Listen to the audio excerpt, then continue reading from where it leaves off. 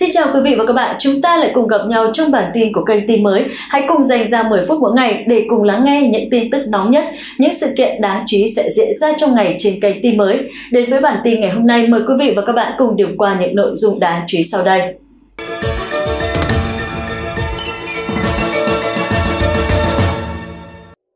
Bản tin lũ lụt Trung Quốc mới nhất ngày 23 tháng 8 năm 2023. Thưa quý vị, lũ lụt do mưa xối xả ở miền Nam Trung Quốc đã làm 165 người thiệt mạng và hàng chục người mất tích. Tân Hoa xã của Trung Quốc cho biết tổng cộng 1.012 quận thuộc 26 tỉnh thuộc lưu vực sông Dương Tử rộng lớn của Trung Quốc đã bị ngập lụt, 1,48 triệu người phải di rời khẩn cấp và 32,12 triệu người bị ảnh hưởng. Hơn 100 con sông ở lưu vực sông Dương Tử vượt quá mức báo động nước sông Dương Tử đổ vào hồ Bà Dương, lượng mưa lớn khiến một số giao thông bị gián đoạn trong một thời gian. Tờ CNN cho biết bờ biển phía đông nam của Trung Quốc sẽ hứng chịu một cơn bão vào thứ Sáu, ảnh hưởng đến hàng triệu người. Theo bản tin Tổng cục Phòng vệ Quốc gia Trung Quốc, tính đến đầu tuần này, 1.192 quận thuộc 26 tỉnh, khu tự trị và thành phố đã bị lũ lụt, 27 triệu hecta cây trồng bị ảnh hưởng, 32,12 triệu người bị ảnh hưởng và 1,48 triệu người bị ảnh hưởng. 165 người thiệt mạng, 64 người mất tích, 49.000 ngôi nhà bị sập và thiệt hại kinh tế trực tiếp khoảng 46,6 tỷ nhân dân tệ. Kể từ đầu tháng, các khu vực dọc trung và hạ lưu sông Dương Tử, sông Giang Hoài và phía đông Tây Nam Trung Quốc hứng chịu lượng mưa lớn nhất kể từ đầu mùa lũ, gây lũ lụt nghiêm trọng tại một số khu vực, gần 120 người ở Hồ Bắc, Giang Tây, Hồ Nam, Giang Tô, Quảng Tây, Quý Châu và các tỉnh khác bị thiệt mạng và mất tích. Các con sông bị ngập lụt vượt quá mức cảnh báo, Ngoài ra, lần đầu tiên trong năm nay, hồ Poyang bị ngập bởi sông Dương Tử, Đài quan sát khí tượng Trung ương Trung Quốc tiếp tục đưa ra cảnh báo mưa bão màu xanh vào chiều thứ ba, dự báo mưa lớn ở An Huy, Giang Tô, Hồ Bắc, Hồ Nam, Hà Nam, Từ Xuyên, Vân Nam, Quảng Tây, Hải Nam, Tân Cương và các tỉnh khác từ 8 giờ thứ ba đến chiều thứ tư, thậm chí mưa xối xả. Theo báo cáo từ chinanews.com, lượng mưa lớn gần đây đã gây ra lũ quét ở nhiều nơi, sông dốc, nhà cửa bị sập, đất canh tác bị cuốn trôi và cơ sở hạ tầng như đường xá, thủy lợi, thông tin liên lạc và điện bị hư hại nghiêm trọng. Đường xá bị sập ở An Huy, Giang Tây và Hồ Bắc khiến giao thông bị gián đoạn. Bắc Kinh, Cửu Long, Thành Đô, Trùng Khánh, Tứ Xuyên, Quý Châu và các tuyến đường sắt khác tạm thời bị gián đoạn, dẫn đến nhiều chuyến tàu bị hoãn hoặc tạm dừng. Tại huyện Đài Ninh, tỉnh Phúc Kiến, Trung Quốc, một vụ sạt lở đất xảy ra vào sáng sớm ngày 23 tháng 8 và một nhà máy điện tại địa phương đang được mở rộng đã bị 100.000 mét khối đất đá vùi lấp, 36 người mất tích. Theo trích dẫn của các phương tiện truyền thông chính thức của Trung Quốc, nguyên nhân của vụ lở đất có thể là do trận mưa lớn bắt đầu từ ngày hôm 22 tháng 8 đã cuốn trôi ngọn núi theo đài truyền hình Trung ương Trung Quốc, tính đến 15 giờ theo giờ địa phương, 36 người đã mất tích và 11 người đã được đưa tới bệnh viện để điều trị. Tân Hoa xã cho biết khu vực sạt lở đất nằm phía trên tòa nhà văn phòng và ký túc xá công nhân của nhà máy thủy điện Chitan. Khoảng 100.000 mét khối đất đá đã đè lên tòa nhà văn phòng và ký túc xá của nhà máy điện. Nhà máy điện hiện đang được xây dựng và mở rộng một số phương tiện truyền thông Trung Quốc đã công bố những hình ảnh về nhà máy điện bị chôn vùi bởi vụ lở đất, cho thấy những mái nhà và bức tường bằng kim loại màu xanh lộ ra trên những khu vực rộng lớn của đất nâu. Một số lực lượng cứu hộ và máy xúc đang làm việc tại hiện trường. Theo CCTV cho biết, vụ tai nạn đã ngay lập tức kích hoạt phản ứng từ cấp cao nhất ở Trung Quốc. Theo China Xinhua Chủ tịch Trung Quốc Tập Cận Bình đã yêu cầu chính quyền Phúc Kiến đẩy nhanh công tác cứu hộ và tìm kiếm những người mất tích. Thủ tướng Trung Quốc Lý Khắc Cường đã làm theo. Tháng trước, một trận lở đất khác cũng đã xảy ra ở Thâm Quyến, Trung Quốc khiến ít nhất 73 người thiệt mạng. Nguyên nhân của vụ tai nạn đó là do sự tích tụ trái phép quá nhiều của đất đá phế thải xây dựng trên đồi một trận lở đất ở Thâm Quyến đã gây sốc và bị chỉ trích vì không tuân thủ các tiêu chuẩn an toàn công nghiệp. Truyền thông nhà nước Trung Quốc đã điều chỉnh số người mất tích trong vụ lở đất ở khu công nghiệp quận mới Quang Minh của Thâm Quyến từ 85 lên 91 người và được báo cáo vào sáng thứ Hai. Theo các báo cáo, việc tìm kiếm và cứu hộ những người sống sót sau vụ tai nạn vẫn tiếp tục vào thứ Hai, với tổng số gần 3.000 người tham gia cứu hộ nhưng đến tối thứ hai chỉ có 7 người sống sót được tìm kiếm và giải cứu khỏi đống đổ nát.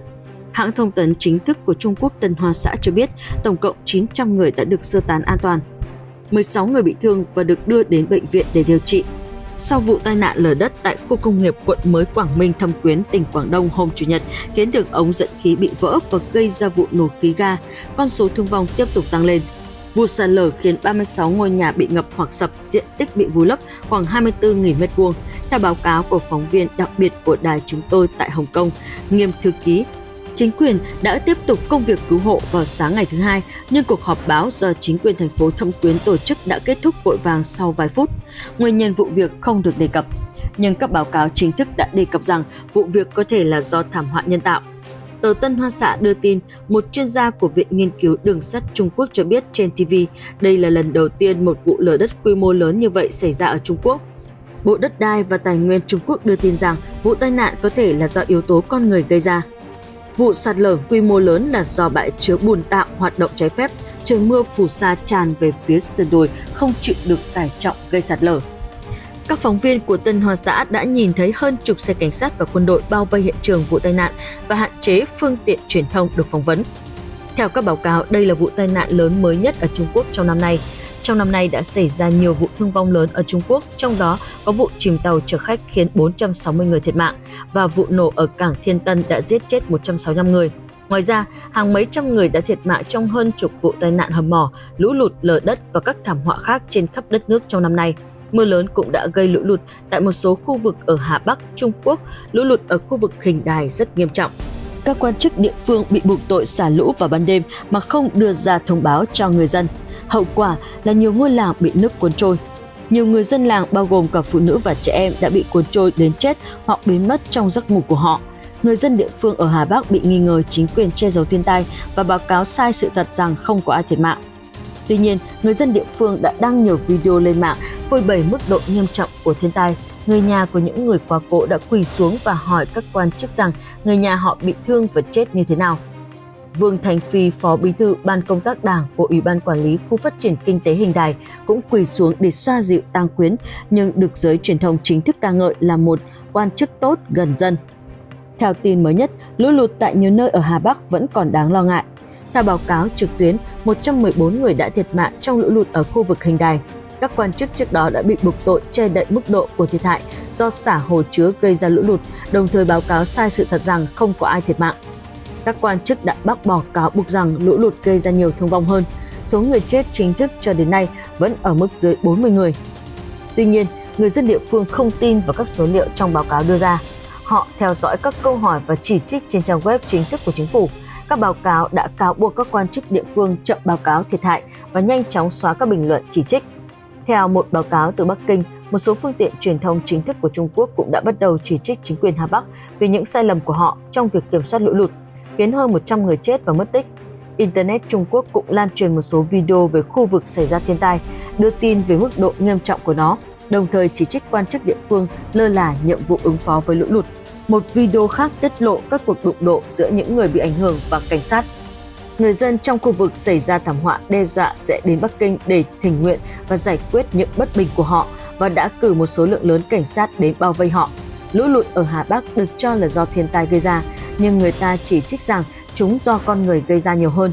Trang CNN cho biết, kể từ tuần này, lũ lụt đe dọa nghiêm trọng, ít nhất 230.000 người buộc phải di rời và hơn 30.000 ngôi nhà bị lũ nhấn chìm hoặc phá hủy một nhánh của sông Gia Linh ở thượng nguồn sông Dương Tử do một đợt mưa mới, hồ chứa Tam Hiệp đã trải qua một đỉnh lũ khác vào sáng nay, trong khi hồ Bắc bị kẹt giữa lũ của sông Dương Tử và sông Hán.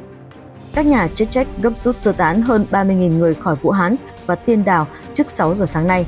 Người dân chuẩn bị mở cống để chuyển hướng nước lũ. Do tuyến kẻ đoạn Hán Xuyên được kiểm tra gần bằng mực nước cao nhất kể từ năm 1998, chính quyền đã huy động hơn 1.000 cán bộ chiến sĩ ứng trực chống lũ cho tuyến kè ở đoạn Kiến Lệ, Kiểu Giang của sông Dương Tử, mực nước sắp vượt mức cảnh báo. Tuy nhiên, Đài khí tượng Trung ương Trung Quốc đã dỡ cảnh báo mưa rông trong 20 ngày liên tiếp, đồng nghĩa với việc đợt mưa lớn ảnh hưởng đến cả nước gần như đã chấm dứt. Theo thống kê của Bộ Dân Chính, kể từ giữa tháng này, mưa lớn đã ảnh hưởng đến 40 triệu người dân trên cả nước, với hơn 330 người chết, 300 người mất tích và hơn 3 triệu người phải sơ tán.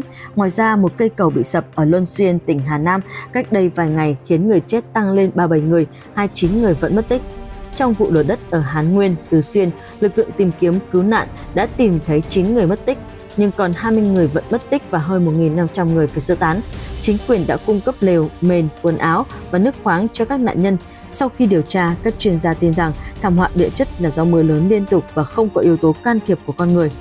Một vụ lở đất xảy ra ở thị trấn Bắc Kiệt, huyện Tùy Trường, Chiết Giang, Trung Quốc vào tối hôm thứ Ba vừa qua. Hàng chục ngôi nhà ở hai ngôi làng bị trôn vùi. Theo tin tức được chính quyền địa phương công bố hôm thứ Bảy, số nạn nhân được biết đã tăng lên 38 còn 29 người chết chưa rõ tung tích. Một số ngôi nhà bị trôn vùi 15 mét bên dưới. Bị ảnh hưởng bởi cơn bão Doksuri, Chiết Giang, Trung Quốc đã trải qua những trận mưa lớn trong những ngày gần đây. Hai ngôi làng Su và làng Bảo Phong, huyện Tùy Trường, thành phố Lệ Thủy, tỉnh Chiết Giang đã xảy ra một trận lở đất vào lúc 17 giờ 30 phút hôm thứ Tư, diện tích hơn 400.000 m2, hàng mấy chục triệu mét đất đá bị sạt lở vùi lấp 20 căn nhà. Theo Tân Hoa xã của Trung Quốc, một số ngôi nhà của người dân đã bị chôn vùi sâu bên dưới 15 mét. Trang tin CGTN ngày 23 tháng 8 đưa tin, Phó thẩm phán quận Tùy Trường tên phiên âm là Hu Gang cho biết do mưa lớn và giao thông đi lại không thuận tiện nên công tác cứu hộ gặp nhiều khó khăn. Truyền thông Trung Quốc đã phát sóng một đoạn video gây sốc về vụ lở đất ở huyện Tùy Trường hôm thứ Năm, cho thấy một núi đất khổng lồ và lũ lụt ập vào hai ngôi làng bị tàn phá nặng nề. Bão số 4 Talim đổ bộ vào miền đông Trung Quốc gây mưa xối xả với tốc độ 120 km/h. Bão số 5 Dusuri đã giết chết một người dân hôm thứ Năm tại Tuyền Châu, Phúc Kiến, Trung Quốc sau khi lũ lụt phá hủy ngôi nhà của người đàn ông này.